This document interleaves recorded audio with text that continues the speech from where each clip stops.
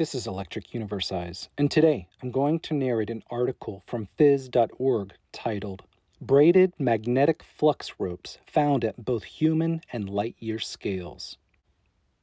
Written by the California Institute of Technology. Investigating solar corona structures has led Paul Bellan, Caltech professor of applied physics, and his former graduate student Yang Zhang, PhD of 24 to discover a new equilibrium state of the magnetic field and its associated plasma. The solar corona, the outermost part of the Sun's atmosphere, is much less dense than the Sun's surface, but is a million times hotter. The corona is composed of strong magnetic fields confining plasma, a gaseous soup of charged particles, electrons, and ions.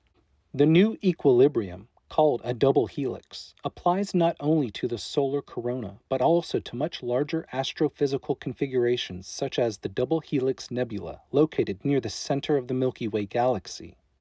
The study is published in the journal Physical Review Letters. Solar corona structures, such as flares, often have the form of magnetic flux ropes, twisted tubes of plasma containing magnetic fields.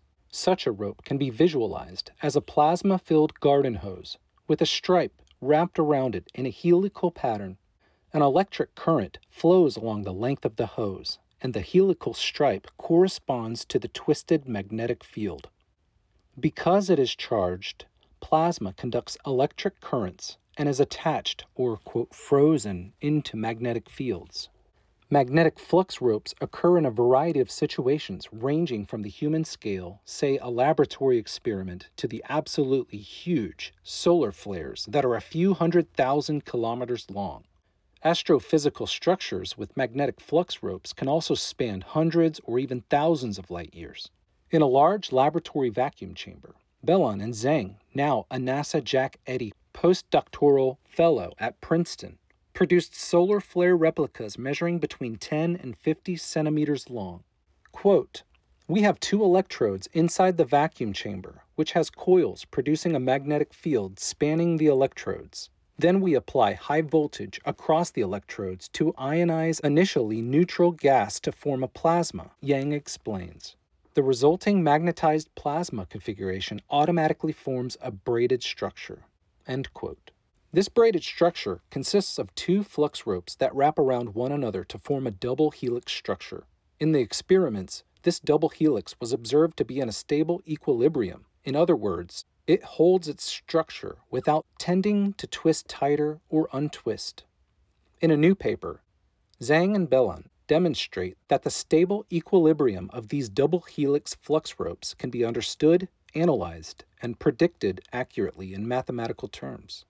Though the properties of single flux ropes are well known, braided flux ropes were not well understood, especially those configurations in which the electric currents flow in the same direction along both of the braided strands.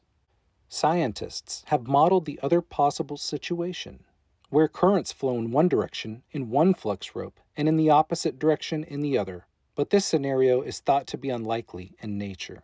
The same current configuration is especially important because it would be susceptible to kinking and expansion driven by hoop forces, phenomena observed both in braided solar structures and in laboratory experiments.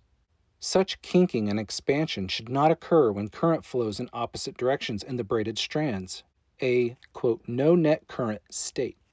Previously, scientists assumed that braided flux ropes where the strands have current flowing in the same direction would always merge because parallel currents magnetically attract each other. However, in 2010, researchers at Los Alamos National Laboratory found that such flux ropes instead bounce off one another as they come closer together.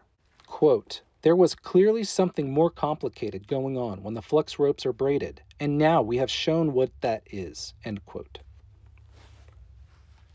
Bellan says, if you have electrical currents flowing along two helical wires that wrap around each other to form a braided structure, as seen in our lab, the components of the two currents flowing along the length of the two wires are parallel and attract, but the components of the two currents flowing in the wrapping direction are antiparallel and repel.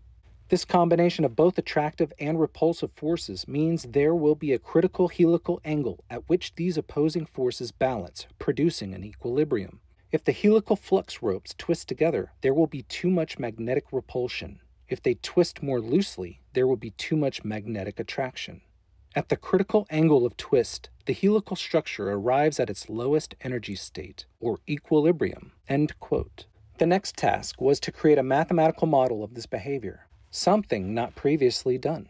Using what Bellan describes as, quote, brute force mathematics, Zhang created a set of equations that could apply to multiple flux tubes in various configurations, including braided ropes, and showed there is indeed a state at which the attractive and repulsive forces balance each other, creating an equilibrium. Quote, and as an unexpected bonus, Yang can calculate the magnetic fields inside and outside the flux ropes, and the current and pressure inside them, Bellan says, giving us a full picture of the behavior of these braided structures. End quote. Zhang tested his mathematical model against the Double Helix Nebula, an astronomical plasma formation located 25,000 light years from Earth that covers a 70 light year swath of space, to see if the equations could describe a large model as well as it did the structures he and Bellan created in the lab. Quote, what was rather amazing about this calculation is that Yang didn't really need to know much about the nebula, Bellan says.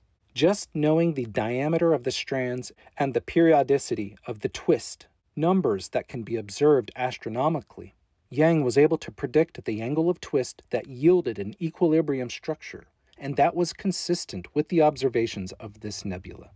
Quote, one of the most exciting aspects of this research is that magnetohydrodynamics, the theory of magnetized plasmas, turns out to be fantastically scalable. When I first started looking into this, I thought the phenomena of magnetic structures at different scales were qualitatively similar, but because their sizes are so different, they couldn't be described by the same equations. It turns out that this is not so. What we see in lab experiments and in solar and astrophysical observations are governed by the same equations.